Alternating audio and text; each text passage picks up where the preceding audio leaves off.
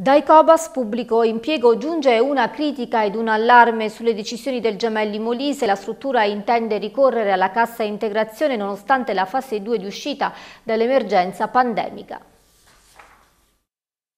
La questione è delicata, molto delicata, perché racconta di una imminente decisione, frutto di una contrattazione sindacale che ha mancato ogni accordo, da parte della Gemelli Molise, l'ultima denominazione che ha attuato la ex cattolica negli ambiti delle varie sue trasformazioni, e delle varie sigle sindacali, tra le quali il Cobas Pubblico Impiego, che detiene il maggior numero di iscritti tra medici, infermieri ed operatori nella struttura di Campobasso.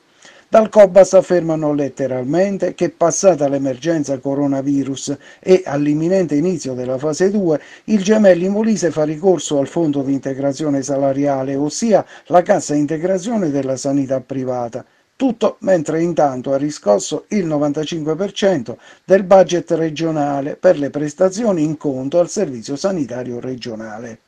Sembra una notizia qualsiasi, un qualunque percorso aziendale, ma è al contrario una nota di forte riflessione, perché, come scrivono dai Cobas, con l'inizio della fase 2 e in piena riorganizzazione con le norme di sicurezza da adeguare alla convivenza con il virus, con la popolazione molisana che si è vista sospesa le prestazioni sanitarie sia da parte dell'ospedale Cardarelli che da quella privata, mandare a casa dopo 58 giorni di lockdown il personale sanitario addetto ai servizi specialistici e ambulatoriali è ingiustificabile. È questa una operazione che appare puramente speculativa ai danni dei lavoratori e dei contribuenti e non in ultimo della popolazione molisana stessa, soprattutto se si pensa che il Gemelli Molise ha attrezzato un reparto Covid con reclutamento di infermieri, tecnici, operatori sociosanitari e tutti i profili impegnati in questa emergenza, sottraendoli alla gestione di patologie non Covid.